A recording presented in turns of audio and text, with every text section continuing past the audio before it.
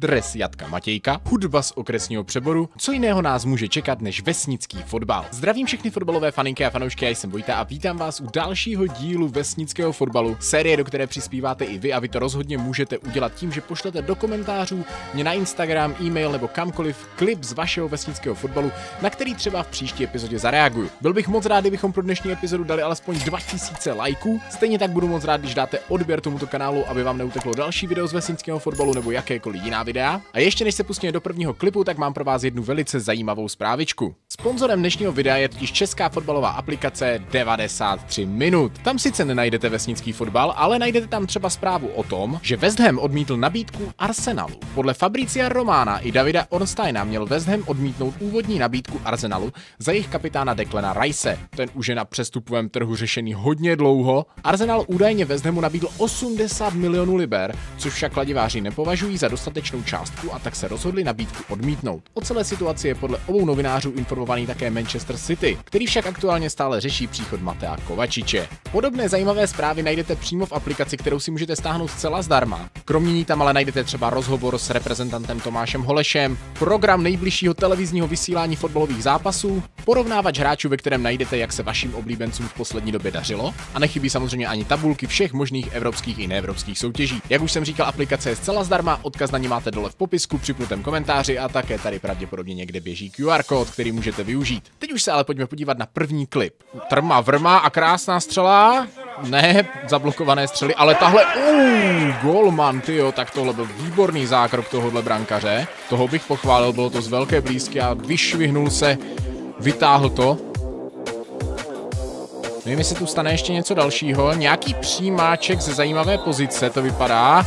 Tam byl faul určitě, výborně, pane rozočí. No tak ale tam už se golman nenatáhnul. Ohoho, to bylo precizní zakončení, to úplně přesně trefilo tu šibenici, to snad líp kopnout ani nešlo.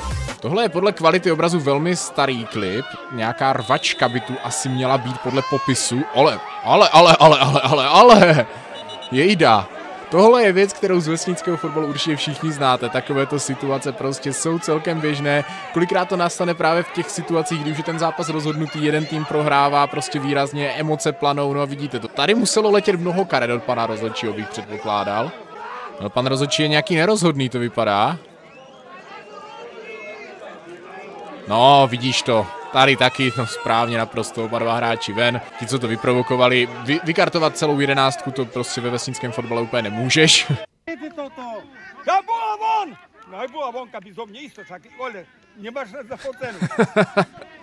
Aké ta čára suverénně na čáře.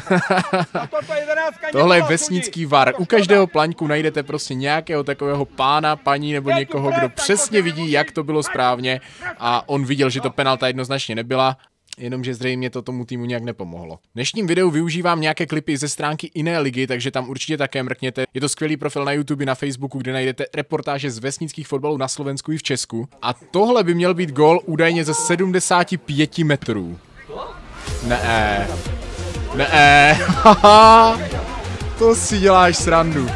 To je normálně snad světový rekord, ne? Stoprocentně to ten hráč nechtěl, to jsem si naprosto jistý, že prostě jenom ten míč chtěl odpálit. Je, jestli opravdu měl tu myšlenku, že trefí tu prázdnou branku, tak klobouk dolů. Tady máme nějaký přímý kop. Hou, pro golmana těžké skočilo to. Každopádně úctyhodná vzdálenost, ze které to tam zaplulo. Hm, to muselo být minimálně 40 metrů, tyjo. A tady chyba golmana, další situace z tohoto zápasu docela zajímavá. Tam no, možná už mu to nezbylo nic jiného, než vyběhnout tímto způsobem. A tady teda hráči tohoto týmu měli chladnokrevná zakončení. Se rád podívám i na tenhle moment. Jejda. Oh, tak ale to tam dobře protlačil, to nebylo vůbec jednoduché. I to i evidentně trošku bolelo. 90. minuta Ondřej přibyl. Doufám, že to bude nějaká krásná branka. Už teď vím, že ano, no tak to byla bomba k tyči. Bomby k tyči, to je krásná věta a také jsme se jedné takové dočkali. Amo, ale jako dobře. Už tady ta střela si myslím, že by letěla docela, no, asi byla dost pomalá, ale tahle bomba, mm, nádhera. A rozhodčí nemilosrdně rovnou ukončil tenhle ten zápas, tyjo, tak to je těžký závěr, když dostaneš takový gol v poslední minutě. Řekl, že to i docela dobře odbránili. Jo, prostě pozičně to nebylo vůbec špatně, ale týpkovi se to odrazilo, nádherně to trefil, 9 z 10 by letělo úplně jinam, předpokládám, ale takhle to chceme vidět. Popis tohohle videa zní jako nejhůř kopnutá penalta na světě, tak jsem dost zvědavý. Jako nejhůř kopnout penaltu, předpokládám, že to poletí tak 10 metrů nad. Nebo snad se to odrazí od tyče a bude z toho protiútok, nebo já nevím. O, a to bych ještě zas tak tragicky neviděl. Sergio Ramos by mohl vyprávět. Tohle je 10 let staré video. Jde o řádění fanoušků v Orlové. Absolutně nemám tušení, co Orlová hraje, ale tohle vypadá teda hodně zajímavě. Tam ti malí kluci vpravo, jak utíkají radši pryč. Musím se pak podívat, jestli nemám nějakou zprávu, co se tam stalo. Evidentně si nějak jako úplně nerozuměli i s uh, hra, fanoušky hostí. Tady dokonce nějaké opravdové jako řešičky. Tyjo, tak co, co se hraje v Orlové, když tam byli těžko oděnci, kámo, cože? Jako co se tam hrálo pro boha za zápas, když tam byli normálně takhle nastoupení těžkoděnci, nebo jestli je pak jako zavolali a tam přijeli, ty vůbec nechápu. Podle komentářů to byl nějaký zápas s Opavou, je možné, že v tu dobu třeba hráli oba druhou ligu, fakt nevím, ale tak tohle je jako extrém. Takže ona to možná nebyla ani tak nízká třída, ale jak je to prostě na takovém areálu, který vůbec nevypadá jako nějak. Jsem viděl spoustu zajímavějších areálů v nižších třídách, jako lépe udělaných, lépe vybavených. Takže jsem čekal, že to bude nějaká nízká prostě divize, ale asi není. Tohle video mi někdo poslal, je teda staré jak Metuzalem. Oh, tam byl pes, což je to jako vychytal pes, jo. To byl snad fucálek nebo co, ale tady prostě jaký malý boříšek se tam motá a bum. Kámo, ale si stejně myslím, že bys trefil tyčku. Tady ty trmy vrmy, to je ideální, to je úplně geniální, to miluju. Nakonec to tam nějak dopadlo. I když vzhledem k té kvalitě to jsem skoro nic neviděl. Tady máme ještě nějaký gol, to bude to předpokládám nádherně trefený přímý kop. Ty kráso! Jako z takového místa to takhle trefit, no to klobouk dolů před pánem, co to zahrával. Ty jo. Cože? To, proboha, to nejde snad ani vysvětlit ta trajektorie toho míče. To čo bylo toto? To si děláš srandu. Tohle by byl životní gol i pro profi fotbalistu, jako podívejte se na to. Jako pěkná přihrávka, průníkovka, ale ten prostě let toho míče absolutně nechápu. Ale. Doma ješ za potom, to takto. To je asi nejlepší hate na fotbale, co jsem kdy viděl. Tady máme nějaký klip i z TikToku. Jsem zvědavý.